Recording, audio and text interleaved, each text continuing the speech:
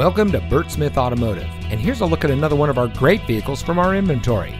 It comes equipped with premium synthetic seats, steering wheel controls, heated door mirrors, keyless entry, split fold down rear seat, leather wrapped steering wheel, rear view camera, climate control, lane departure warning, stability control, and has less than 15,000 miles on the odometer. Bert Smith dealerships have been satisfying customers for over 50 years with an outstanding vehicle selection, easy financing, and high quality vehicle service and parts.